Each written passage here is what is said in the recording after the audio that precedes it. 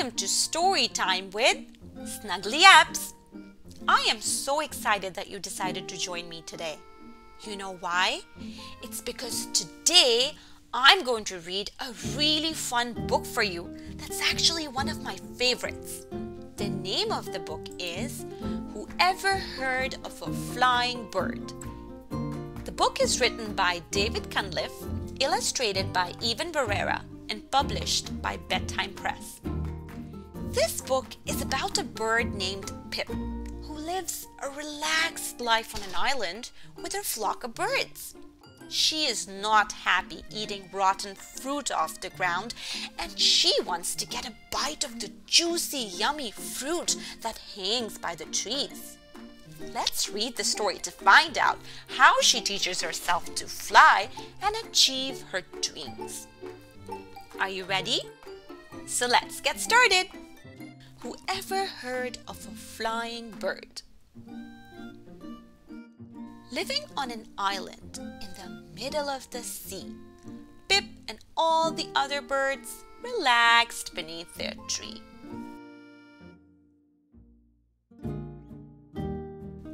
Her flock stayed on the ground. They never thought to fly.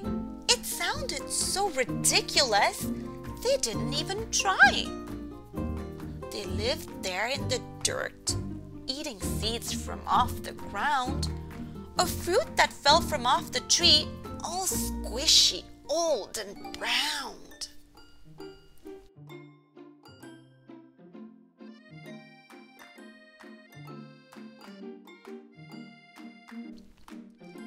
Life was simple, and she lived a life of ease. Yet Pip still yearned for something more than life beneath the trees.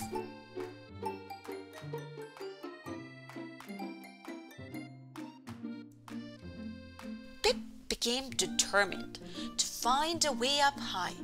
She had no clue of what to do, but knew she had to try.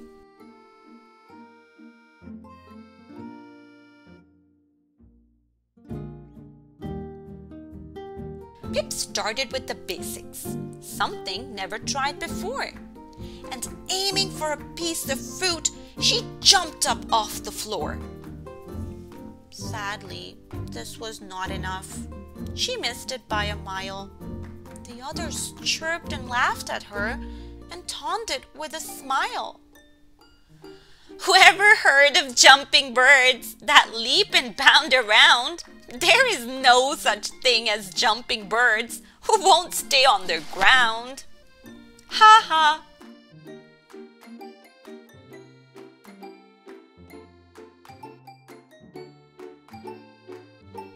Pip was not a quitter, and she had another plan. She took off running in a dash, and up that tree she ran. Although she sprinted quickly, her tactic did not work. The others seemed amused by this and looked on with a smirk. Whoever heard of running birds running up a tree? There's no such thing as running birds. the others squawked with glee.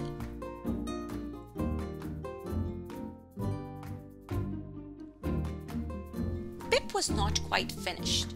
There were still more things to try. Next, she tried to flap her wings to reach the branch up high. She flapped and flapped and shook her wings and spun and danced around. But nothing changed, and there she stood, feet firmly on the ground. Whoever heard of flapping birds flapping up and down? There is no such thing as flapping birds. You're silly like a clown.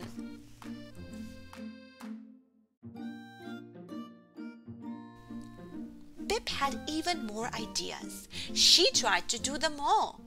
But every single thing she tried just ended in a fall.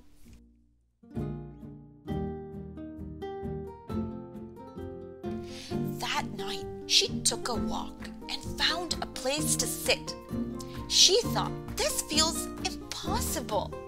Maybe I should quit.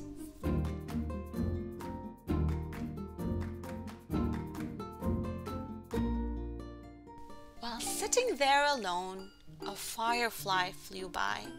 Pip was just amazed to see a bug could fly so high. A feeling then came over her. She had to try once more. She knew it did not matter that no bird had flown before.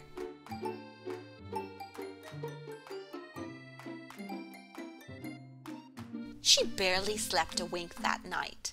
She rose before the dawn, then waddled slowly to the tree as all the birds looked on. Began to flap her wings, then took off with a dash. She made it pretty far this time.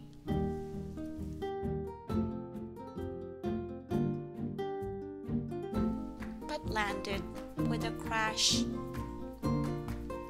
Whoever heard of flying birds like clouds up in the sky? Don't you know there's no such thing? We just aren't meant to fly.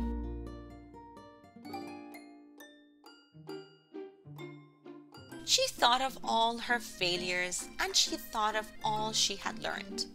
She looked at all the lumps and bumps and bruises that she'd earned. She stood back up and dusted off A tear was in her eye. She clenched her beak and Pip resolved to give it one more try.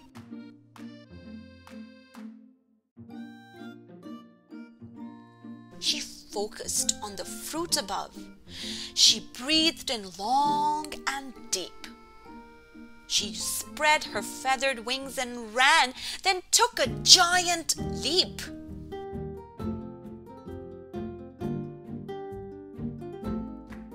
One said, That's impossible. We are not meant for flight. But Pip did fly. She reached the fruit and took a juicy bite. One by one, Pip took each bird and showed them how to fly.